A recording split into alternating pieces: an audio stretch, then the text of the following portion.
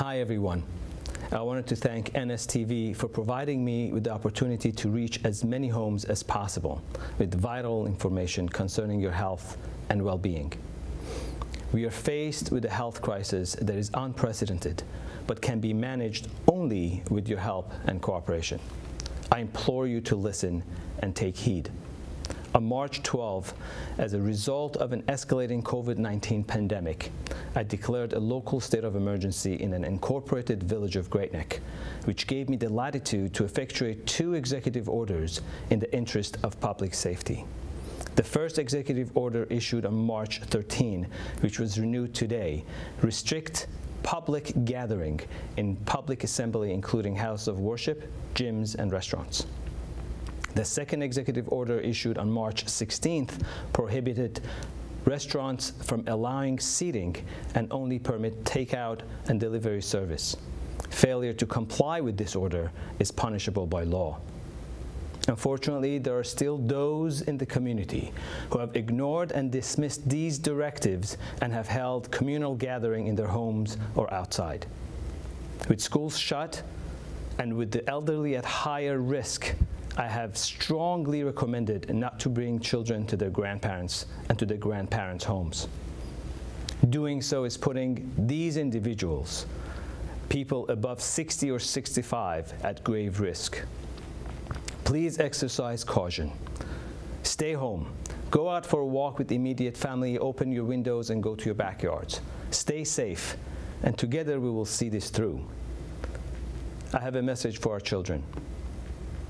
I know many of you don't like to be home every day. It must be difficult for many of you to stay home and not go out and see your friends and your teachers. We understand that. I know you miss your grandparents dearly and you want to see them and hug them. I want to tell you that if you love your grandparents, stay home. Don't go to their houses. Don't hug them and don't kiss them. Send them as many love messages as you want. Call them as often as you want. And send them Facebook messages, WhatsApp messages, and FaceTime them as often as you wish. But remember, at these times, we all have to stay home. There are many doctors and nurses that are working tirelessly to make sure that everyone that gets sick gets better and go home. But what you can do to help is to make sure that you don't spread the germs. Wash your hands. Listen to your parents. Do your homework.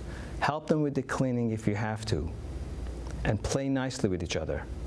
These difficult times, many parents are home because they have to stay home as their bosses have ordered them to stay home and work from home.